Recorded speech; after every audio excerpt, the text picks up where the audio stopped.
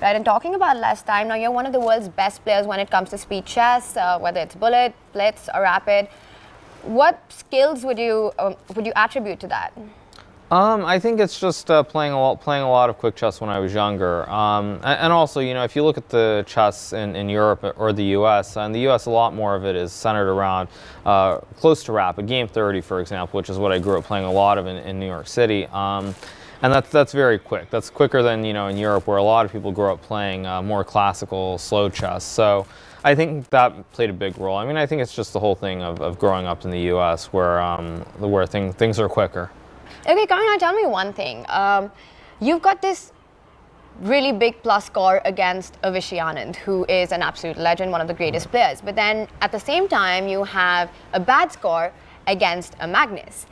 So what's the psychology of it? I mean, why is it that chess players seem to do really well against somebody and then something goes wrong when you're playing someone else? Um, I mean, I think it's all psychological. I don't think there's any other explanation really. Um, because uh, there, there isn't really. You, you can't say that, for example, um, I mean, obviously Magnus is a better player than Vishy, but you can't say, you know, you can't say that he's better by that that degree to the point that I should, you know, yes. be scoring plus eight against Vishy and be like minus eight or something against uh, Magnus. So I think I think it's all psychological, and uh, really there there are a lot of cases where it's like that that make no sense. I mean, I think you know, if you look at Vishy, uh, before all of us uh, young young players started growing up, I think he had pretty much a plus score against every single player except for Kasparov, and against Kasparov he had some terrible score as well. So it's it's all relative. Um, but I think I think it is psychological at the end of the day, and there's there's really no other explanation.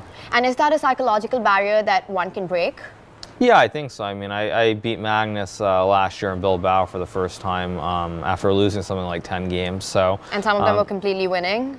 Yeah, I mean, again, like I said, I think it is psychological. Right. So obviously, it's possible to break it. I think all it takes really is like one good game. Um, and and then anything can change. Last year, you also had a great team performance in uh, Baku. Mm -hmm. How does that work when? Uh, because it was the first time that you were playing with Wesley and with Fabiano in the team. You guys have always played against each other. So how uh, how does the dynamic work when you're kind of rooting for each other?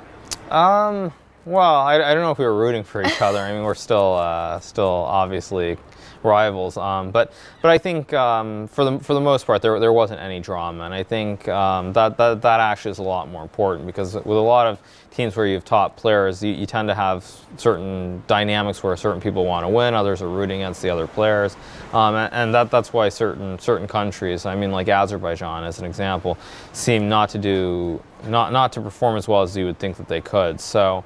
Um, I mean, I think in general it's just that we, we had a pretty reasonable dynamic. There was no drama, and I think uh, where we just all happen to be that good that really uh, nothing's gonna.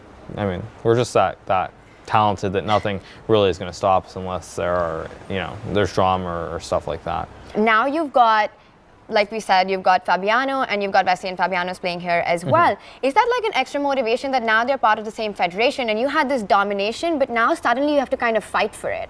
I mean, one of the, one of the best things I think about chess, unlike so many other sports or, or, or games, is that for the most part you, you control your own destiny. You can control what happens, and so um, I mean, obviously uh, they're they're both fantastic players. Um, but if, if I play well, I have no doubt that I can get up there too. So, um, so we'll see what happens. But, but obviously, for right now, I just have to focus on playing well. And if I play well, good things will happen.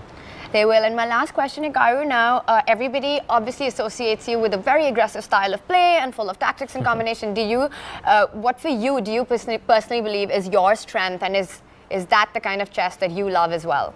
Um, I mean, I do love playing uh, aggressive chess. Um, I don't think that's uh, completely my style anymore, unlike in the past. But but still, I, I do like playing playing games where they're going to be decisive results because for me, I, I do tend to view chess uh, as being closer to a sport. And I, I, think one of the big big issues with chess is that you have a lot of draws. And I mean, if I could win win or lose every game, I would much prefer that to, to draws. But uh, of course, the rules are what they are.